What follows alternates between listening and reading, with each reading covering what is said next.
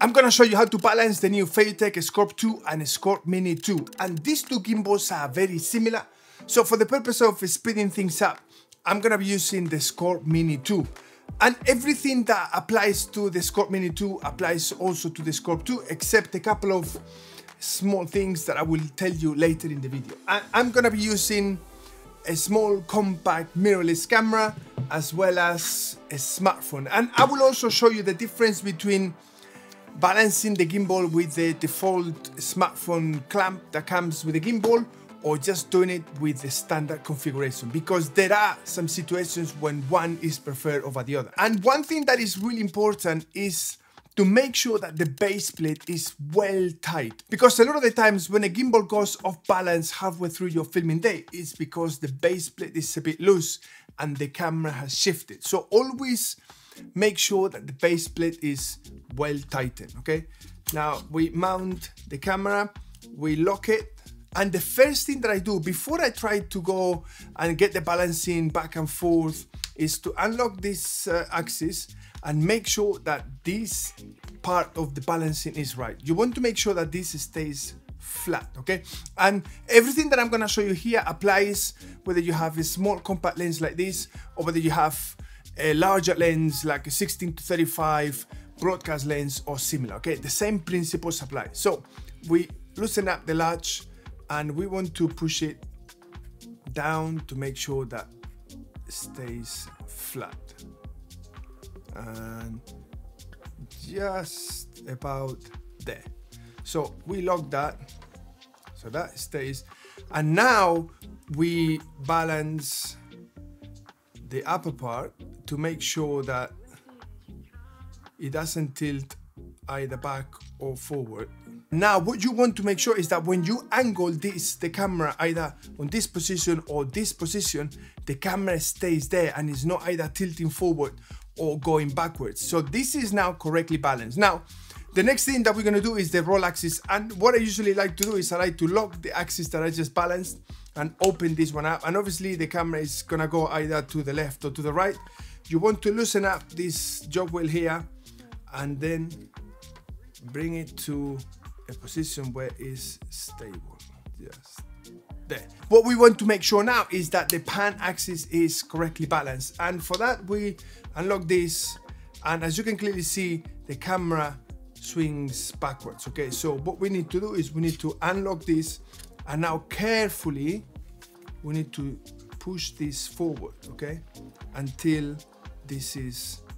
And sometimes all you need is just a tiny bit, okay?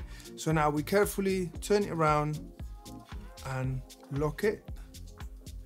And now we test it again to make sure that it's stable. And as you can clearly see this is now stable. It's not going anywhere. So all three axes now are correctly balanced.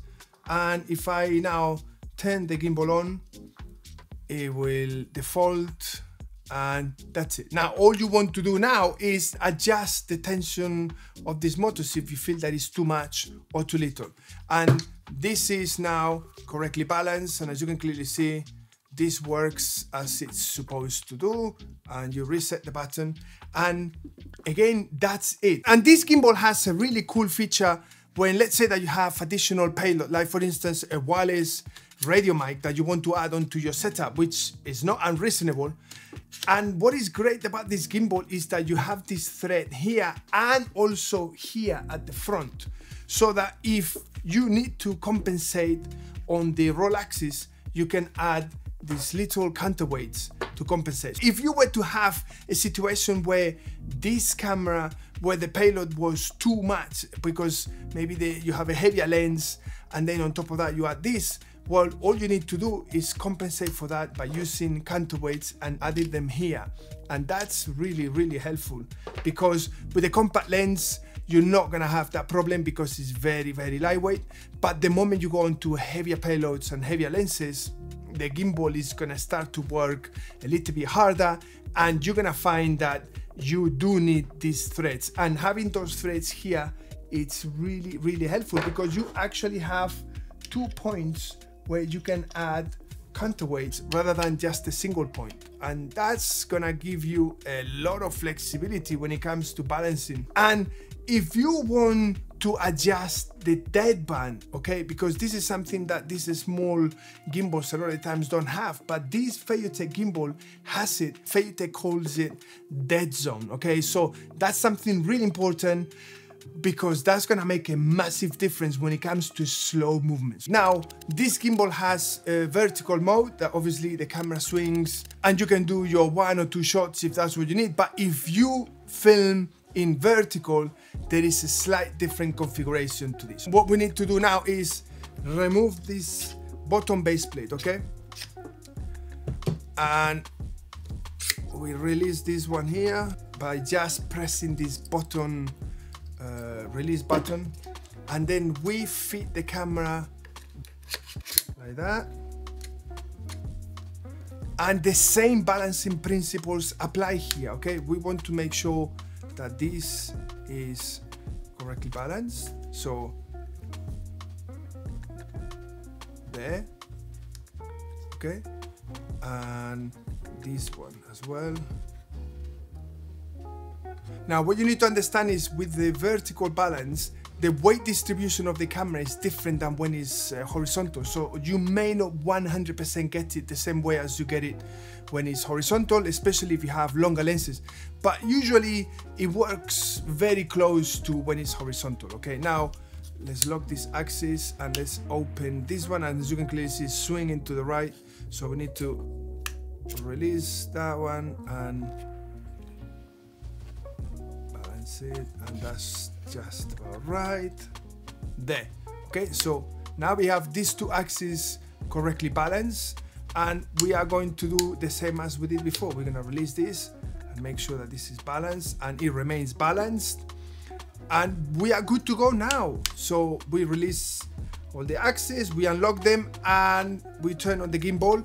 And now you can do your long-term vertical filming just as you do your horizontal and it's gonna give you the same functionality as if you use the gimbal in the horizontal mode. This is essentially how you balance this gimbal when you have a camera. Now, we're gonna move on to a smartphone and now we can put the smartphone mount. We can just simply put a smartphone, okay? So we lock it like this and then we release the roll axis so essentially that's it. I mean, you have a little bit of adjustments here. You want to make sure that the phone, just as with the camera, stays flat, okay?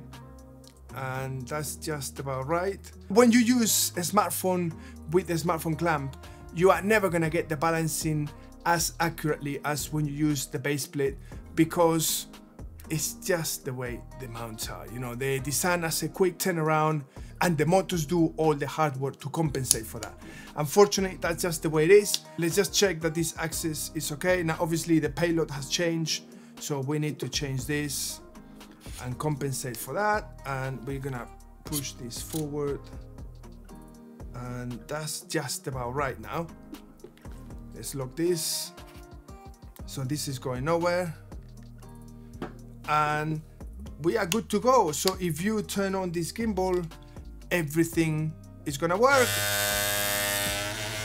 okay so what you saw there is that the gimbal was expecting a certain payload and all you need to go is quickly to the top left and do an auto calibration and then the gimbal will do it very quickly and now the gimbal is totally fine and you can use it normally. Things start to get interesting when you start adding accessories. So for instance, if you want to add a lens, this is when things start to get really interesting because the balancing changes and you don't notice it now because the motors are compensating. But if I was to turn off the gimbal, you're gonna notice right away that the roll axis is totally different. All I need to do now is to uh, adjust the gimbal and it will hold it. This is never gonna be now uh, flat, it's never gonna be able to do it because this is now too heavy at the top. But the roll axis, it's okay yeah, we can, again, we could spend now 10 minutes here making it super perfect. And I hate to be a perfectionist, to be honest with you. Anyway. What happens is if you put a lens and then filters, this is never gonna be enough, okay? Your roll axis is gonna be like that. And then what happens is that the motors are overworking and that's when things start to go funny over time. Okay, so you want to make sure that you protect the gimbal as well. So what this gimbal has is something very clever. It has some thread here. And what you can do is to then add counterweights. And I just put one and perfect. That's it. That's all you need is just to add a little bit of counterweight there and everything else should theoretically be the same. So if I now move this, obviously now this has changed. So I need to change this axis and push it back because now it's too front heavy and that's just about right there we lock this and now the gimbal is correctly balanced and we can turn it on and it's gonna work really well so that's how you start adding accessories when you use this smartphone mount now what happens when you add, for instance, a lens like this one, which is a new lens that I've got from Sandmarc, and it's a telephoto, a six-time telephoto optical, okay? And this is something that I'm gonna review very soon because Sandmarc is a great company and they do amazing lenses and anything to do with optics is really good quality. This is gonna be too heavy to have this configuration or if you have lenses, let's say from Freewell that are bigger and heavier than this, well, this configuration is not gonna work. And this is now when you need a different configuration. You need to use the standard mount to configure the, the phone. Let me just remove this and we use a standard smartphone mount, okay? You want to be able to potentially mount the phone upside down so that it's not too top heavy. Make sure that it's well tight. And there, let's widen this as much as possible. We're gonna fit the phone upside down, okay? And we're gonna squeeze it there. And now what we're gonna do is we're gonna fit this lens. Okay. Now, what happens is you need to follow the same process as you did before. We want to make sure that this axis is well balanced. This is really important. There. Okay? And now we do this one. It's just about there. Okay, so now we have the camera upside down, but your camera app is gonna be able to flip the camera the right way up and that's never gonna be a problem. Obviously, now we need to compensate. We don't need probably the counterweight because of where the lens is. We'll probably have to bring this. There you go, that's locked.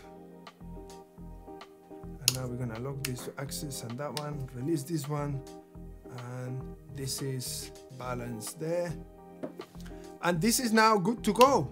And that's how you balance a smartphone with a heavy lens or a heavy payload. And imagine if on top of this, you have a telephoto lens with some variable ND and I don't know, you might want to have some lens shade or lens hood or any other accessory that you could possibly think of. Well, if you have the phone upright, that's not gonna happen. But if you have the phone upside down, that's how you do it. And this now works very well. The motors are working really neatly and you don't have to worry about forcing the motors or the motors overworking. And one feature that is really great is that on the Feiyutech app, you have a section where it tells you whether the motors are correctly balanced. So if at any point you add any accessories or you feel that the gimbal is not 100% right, you can just go into this section and then it will tell you with an actual tick whether the gimbal is correctly balanced or not. By all means, leave me any comments below if you have any questions or any specific setup that you guys have and I will try and do my best to get back to you as soon as possible or at least within 24 hours. And Look, feel free to give a like to this video if you found it helpful, subscribe to the channel if you haven't done so already, and I'm gonna be doing more of these balancing videos of different gimbals as they come into the market, and I will see you in the next one.